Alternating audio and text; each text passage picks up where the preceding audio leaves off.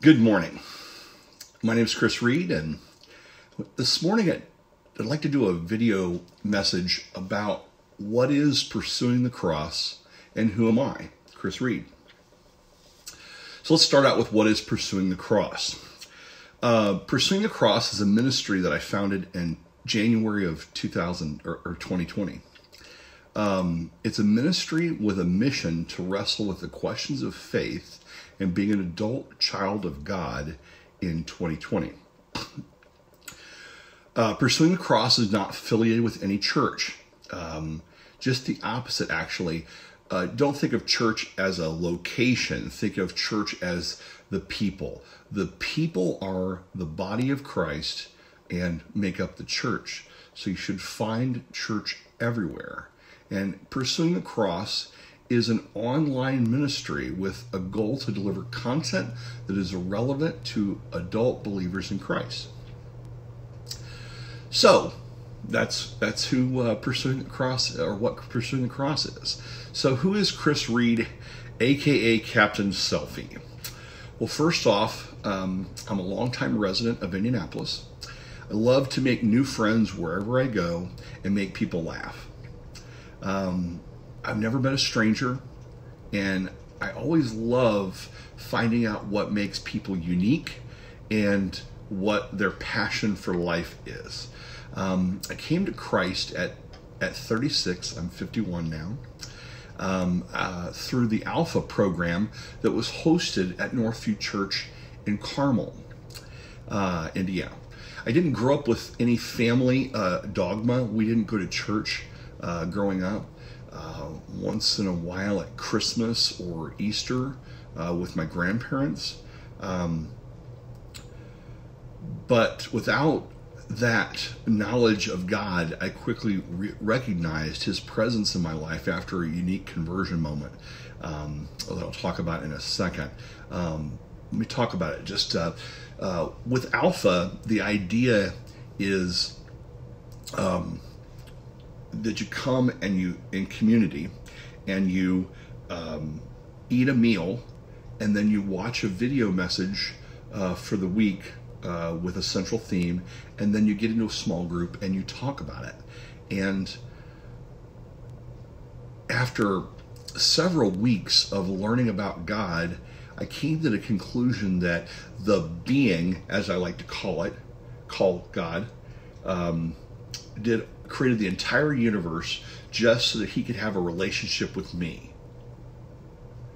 I mean, and Jesus died on the cross for my sins so that I could let go of the shame of yesterday uh, and those hurts and mistakes so that I could live life and love today and create new things. And I tell you what, for me, that was a pivotal moment in my life. Um, I, I became on fire to learn about God. And so I read the Bible cover to cover about five times in those first three years. Um, did numerous uh, books, uh, read numerous books, sorry, uh, from authors like C.S. Lewis, Max Lucado, Francis Chan, Lee Strobel, James MacDonald, Billy Graham, Chuck, Rob Bell, Chuck Swindoll, Joyce Myers, John Eldredge, Tony Evans, and a few others that sit on my shelf. Um, through Northview Church, I attended Bible studies, classes, and seminars to learn all that I could about Lord, about the Lord. Um, one of the things that I took uh, was called a shape test. Uh, if you haven't ever heard of a shape test, have you? Maybe you've heard of a disc test um, to uh, uh, tell your personality. Um, shape is an acronym, and it stands for. Okay, it stands for uh, spiritual gifts, heart, uh, ap- aptitude, passion, and experience. And the idea with a shape test is that it helps you understand the gifts that God has given you um, so that you can plug into ministries that make the most sense for you. For example, um, I thrive in greeters ministry. I love meeting new people. So that's a great place for me because um, through the process of that, I'm actually fed. My spirit is uh, made full through that. But you wouldn't want to put me in the children's ministry, you know, because um, there's going to be some tears, probably on my end, maybe some dis, uh, frustrated parents uh, because their kids aren't happy. That's not my passion. So if you'd like to learn more uh, about uh, taking your own shape test, you can go to freeshapetest.com. Again, freeshapetest.com. My uh, number one gift was leadership.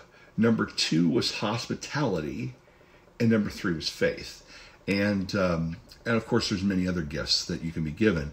Um, and it can change from time to time. So you can actually take it you know say every five years or so and just to check see where where you're at because because god can do amazing things in your life. So i believe that we are all children of god and that each of us are struggling with our own unique battle.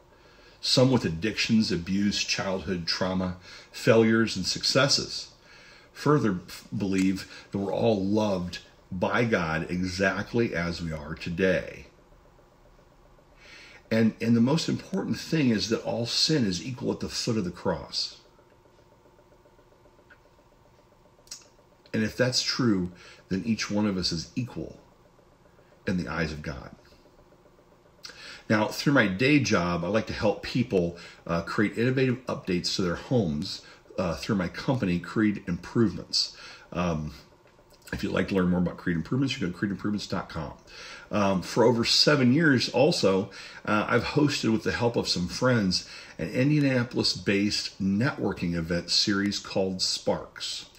Um, if you're if you're wondering what Sparks is, you can think about TED Talks, uh, short, inspirational, motivational, life lessons learned, those kind of talks, merged with good food and beverages and uh, networking are great people. Um, you can learn more about about uh, Sparks at sparkstalk.com.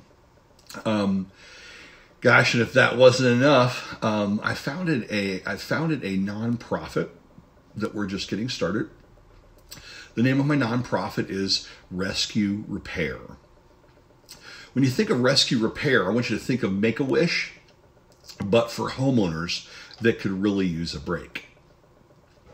Think of uh, single parents, widows, uh, or senior citizens, uh, all homeowners uh, that might be living paycheck to paycheck or on a tight budget, and they could really just use a little help.